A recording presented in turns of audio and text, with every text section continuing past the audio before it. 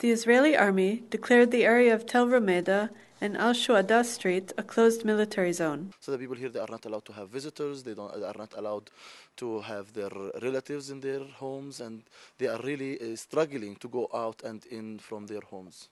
In the heart of Tel Rumeida, settlers, headed by Jewish extremist Baruch Marzel, established a settlement in 1984, which has been expanding ever since.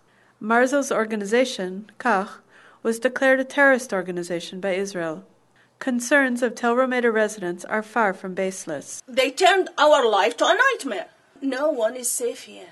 Since 1984, when Kach member Baruch Goldstein massacred 29 Muslim worshippers in Hebron's Ibrahimi Mosque, 1,800 local shops have been shuttered by the Israeli army, and many residents have left the area as Israel's settlement project advances. They, they are working to displace the Palestinians and bring settlers to live in this area. This area is uh, a target for the settlers. Rawa Abu Haikal of Tel Rumeida lives in a house that is now surrounded by an archaeological site run by settlers. She is one of many local residents being stopped by soldiers and asked for her home registration papers. I went to to the to, to the city. I, I always go through Tel Rumeida. And, and when I uh, came back, the soldier said to me, oh, I can't let you pass. It's military zone, and your name is not on the list. I said to him, How come? Look at my ID. I live in Tel Rumeida.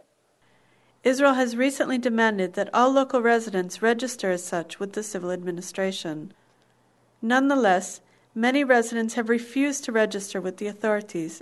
Who is in, included in the military zone and who's not is not clear.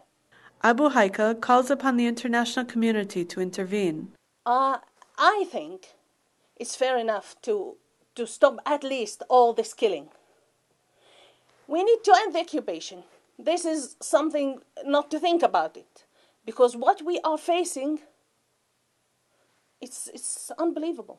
The order sealing Tel Rumeida and Shuhada Street is being renewed on a daily basis. The soldiers prevented internationals and journalists from entering the area and reporting about these illegal actions. בפעם האחרונה לפני שאני צריך להזמין משטרה, יש כאן שטח צבאי סגור, הנה הצו אם אתה רוצה לקרוא אותו ואתה מתבקש לעזוב, בסדר? תודה. צילמת? הקלטת?